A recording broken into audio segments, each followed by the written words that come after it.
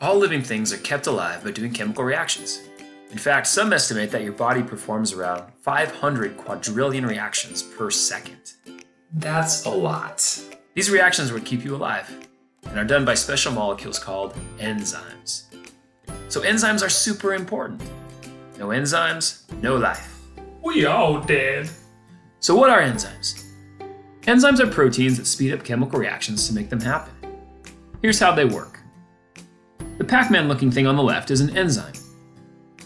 Notice that it has a little triangular region that looks like its mouth. That is called the active site, and it's where the reaction happens. On the right, we have a molecule in the shape of a triangle. It is called the substrate. This is the molecule that will undergo a chemical reaction. Notice that the substrate fits perfectly into the active site of the enzyme, just like a puzzle piece. Each enzyme can only work on specific substrates to do specific chemical reactions. So we say that enzymes are specific.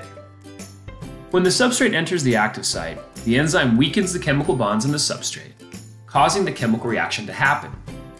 The molecules that are produced by the reaction are called products. The enzyme is not altered by this reaction and can be used again and again. Although this animation showed an enzyme breaking down a substrate, there are other enzymes that do the opposite. They take substrates and join them together to make a larger product.